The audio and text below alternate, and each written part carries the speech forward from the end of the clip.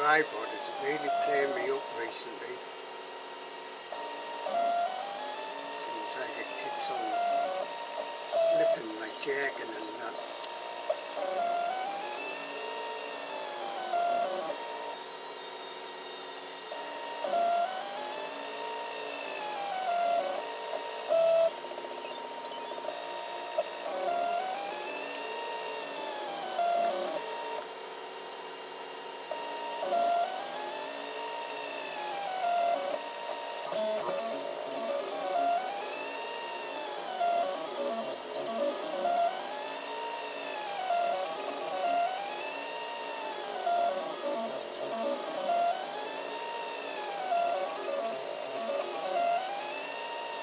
This is like an extension attachment for Dyson DC16 vacuum cleaner.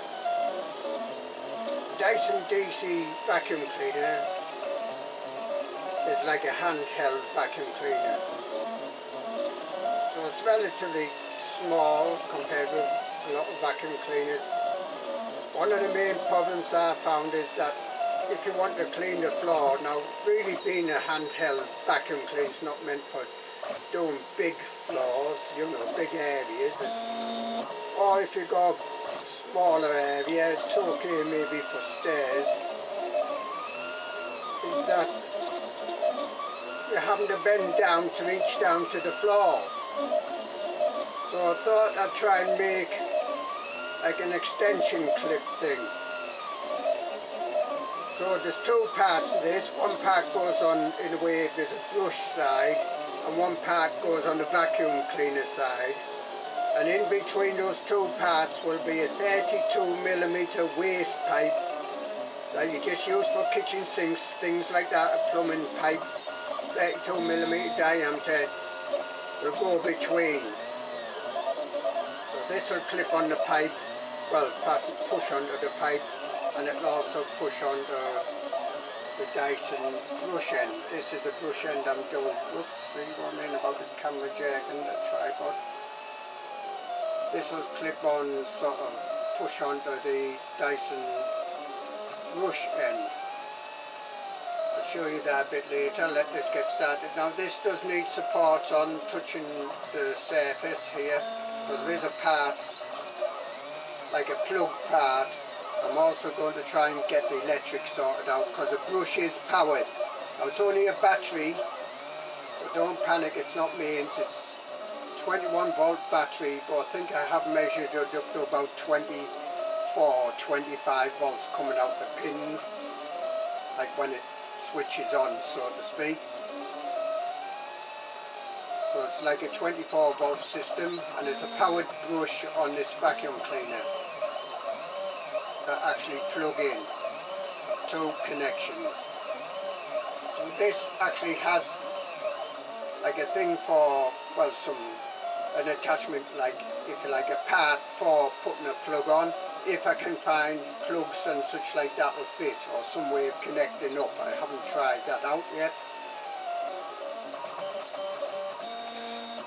I think this is about the third iteration I've done of this actually first couple have been, well,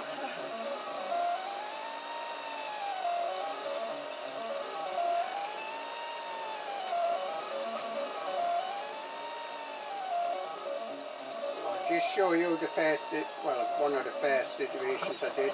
We, we're getting printed this way around. So there's this part here that needs support because this has overhang part at the front there. So this end goes on the brush of the vacuum cleaner. This is the part that connects the two, like the power up. Two pin, uh, well, there's a socket this side, I think. And it'd have to be two wires. But basically a 32 millimeter waste pipe, plumbing, will just go in there any length you can get or want really. So you can have it reaching down and there'll have to be another end the other sort of end. This is because I've been working on this. I've had to modify this quite a bit. mark out, you know, some new measurements, so to speak. So it goes, it does like change sizes. It goes from 32 mil to, I can't remember, uh, I think it's 38 on the inside here, something like that. Don't quote me on that. So this is, as I say, is getting printed out this way up. Here. I will be showing you the vacuum cleaner. I'll actually show you the DC 16 animal it's known as. It's for help you get up dog hairs, cat hairs, if you have pets, anything like that.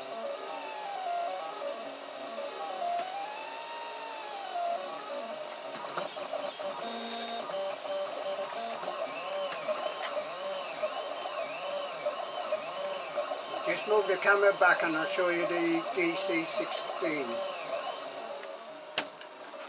So here is the DC-16. See, it's battery powered. I did have to actually replace this battery. This is one I got off the internet, been very good up to now. I've only had a short while but it works fine. It was uh, coming on for 10 seconds and then cutting out 10 maybe 15 seconds and then it would just cut out and then I have to let go of the trigger and then squeeze the trigger again and it would start up again. I'll turn it on now.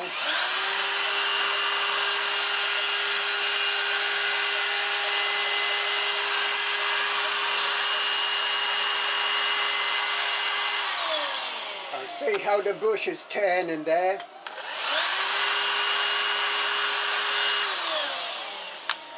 Does have a clip thing on this. But if you look down here if I can get the light on it just a second. Look down here you'll see two pins. So that sends power down there into there must be electric motor in here. Don't know if it says anything actually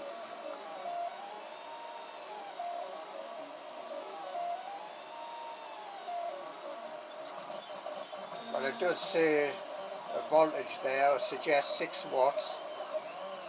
I can't really, just a second. It seems to suggest, so far as I can tell, 16 volts point 2. So yeah, it does say a wattage, yeah, 6 watts. Hmm.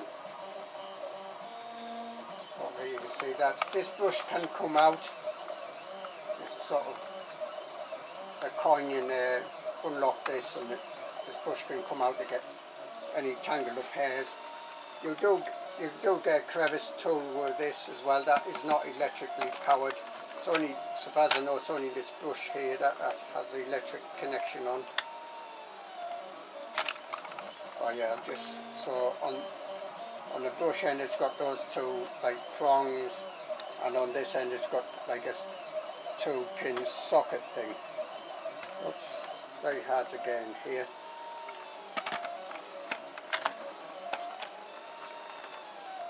Uh, quite a good vacuum cleaner. As I say, one thing about it is, as you can see, it's quite a very short, sort of stubby thing. So if you're reaching down to the floor, it means you're having to really bend down to reach the floor. So I'm hoping that this will resolve that. Might not. I'll just show you this first, well, one of the earlier iterations I've done of this. So give you the idea. So basically this goes, will go on here. That fits on those two pins there. I don't know if I can do the electrical side of this. Hopefully I can. This will be better in this other design I hope. But then there'll be a 32 millimeter waste pipe in there, the length you want to reach down, and there'll have to be, just a second, there'll have to be a different attachment to go like on the vacuum cleaner end. So be something like that attachment there and a waste pipe between. So that is a basic idea. Okay, I don't know if there's much else I can say about this. Quite easy to empty the stuff out, just knock that lever, shake it out of there. Does have some filters in. It's okay.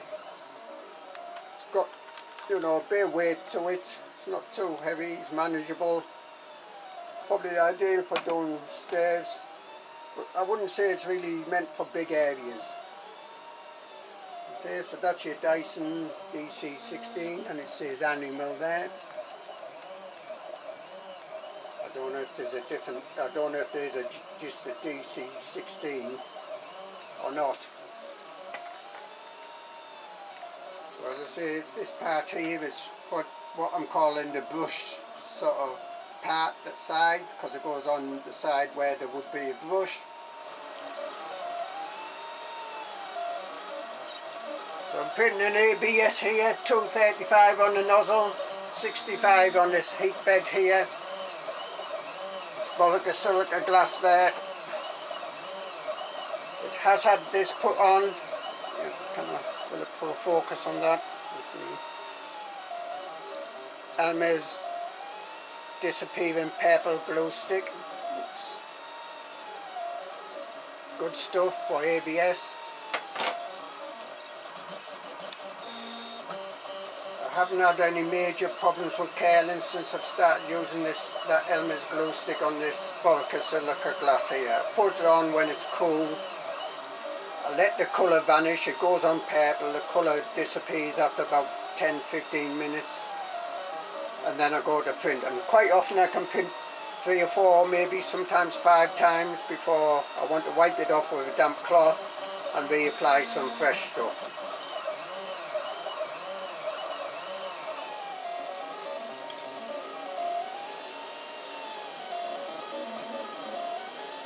So the supports are at the front there. Basically you can't at the moment anyway print into thin air below it. Those supports generally break off quite easy, to make, leave a little bit of marking on the model. But quite often you can adjust the supports um, to lessen that if you want to, can.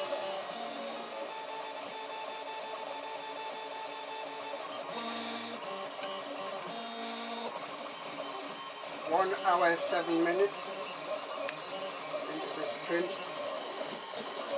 of this Dyson DC16 extension attachment.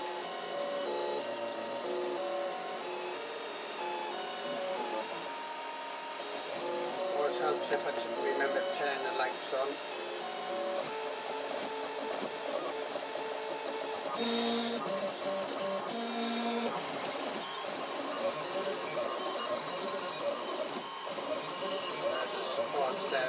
on.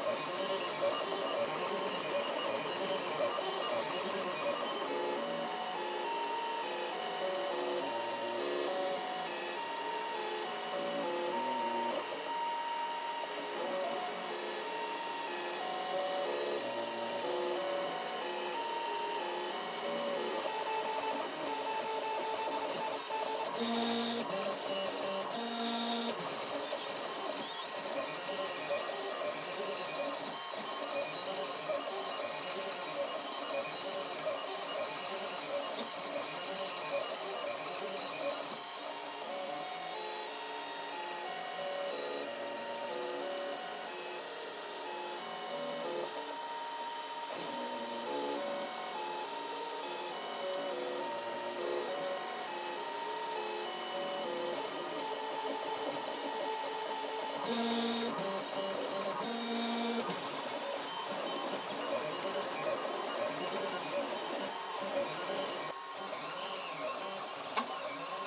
Two hours 26 minutes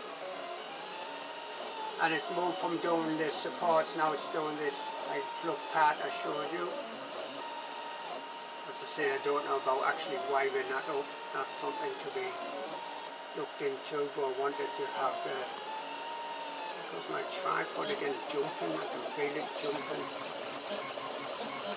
Seems settled stable and then it will just move for no reason. Tripod. Hmm. Anyway, I, uh, if you look at the top edge of that we might get to see some of the infill as well. I'll put the light on. Look at that back top end edge of that light plug part there. Obviously the infill set to 30%.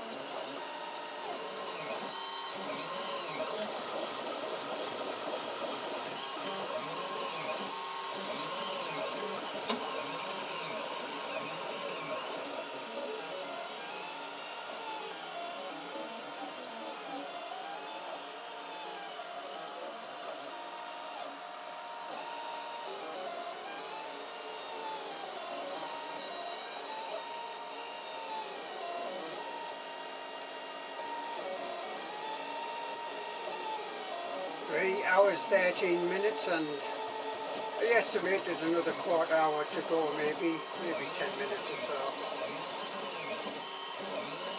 See the two holes for the plug there. That's why it's got this sort of support on here because this is overhanging and you can't. Three hours 28 minutes 4 seconds. 30 millimeters per second that was printed up. Seems to be a bit of a lump here. A bump or something. Yeah. There's a bit of black again there. It seems to be coming in the filament. Um, I'm not sure because I know my E3D clone here, hot end, has a piece of PTFE tubing in and that has scorched a bit. I think it's probably been too hot for it. So I think that's what might be causing that. I'll have to put another piece in.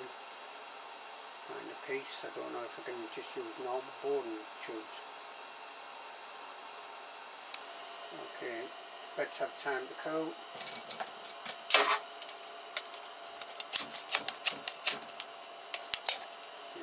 Off reasonably easy. There's the spots. Yeah, I forgot to put, like on uh, one of the other ones, I put this at an angle so that it wouldn't need support, so I'll have to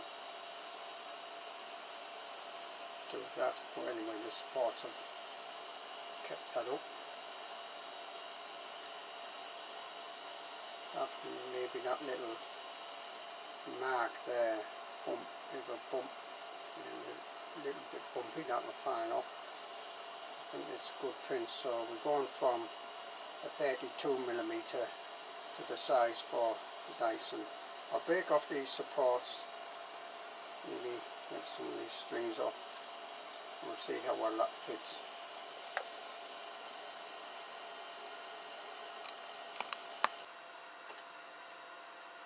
Yeah, I like to quite often just put a little piece of card on top of my bed just to protect it. The spots came off quite easy. But I have noticed there's a little where that bump is there that I pointed out. A bit of light I don't know as if the plastic hasn't melted properly or something. It's also on this side I don't know so this is where it's going into, the brush side.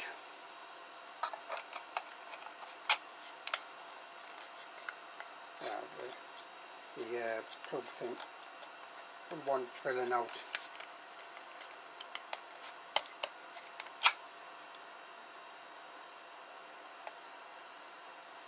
I'll drill the plug thing out and then I'll come back.